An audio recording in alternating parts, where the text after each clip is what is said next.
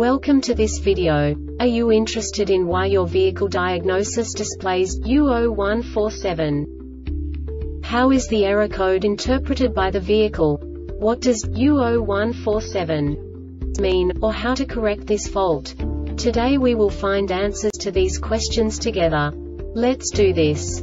First, let's look at the history of diagnostic fault code composition according to the OBD2 protocol, which is unified for all automakers since 2000. We divide the electric system of automobile into the four basic units. Powertrain, body, chassis, network. This distribution is defined in the first character code.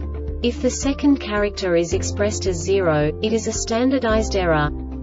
In the case of numbers 1, 2, 3 it is a more prestigious expression of the car-specific error. The third character specifies a subset of errors. The distribution shown is valid only for the standardized DTC code. Only the last two characters define the specific fault of the group. Let's not forget that such a division is valid only if the other character code is expressed by the number 0. Our website airbagreset.sk produces useful videos for you. You do not have to go through the OBD2 protocol anymore to know how to troubleshoot any car breakdown. You will find all the diagnostic codes that can be diagnosed in a Jeep vehicles. Also many other useful things. The following demonstration will help you look into the world of software for car control units. You unbelievably can move the video a bit further. The error code is split into two bytes consisting of 16 bits. One bit is the basic unit that each computer works with. The bit has two logical states. 0, low level, 1, high level. By combining the first two bits, the basic character of the error code is expressed. The next two bits again determine the second character. The last beat styles of the first byte define the third character of the code. The second byte is composed of a combination of 8 bits.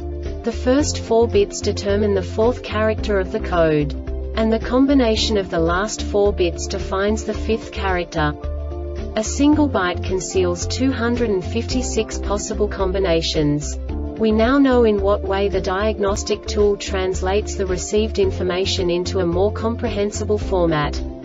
The number itself does not make sense to us if we cannot assign information about it to what it actually expresses. So, what does the diagnostic trouble code U0147 interpret specifically Jeep car manufacturers? The basic definition is brake boost solenoid valve circuit shorted. And now this is a short description of this DTC code. The ignition is on ignition voltage is greater than 10 volts.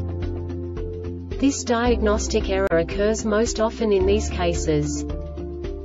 C012F0E, C12DD solenoid feedback current greater than 50% of requested current.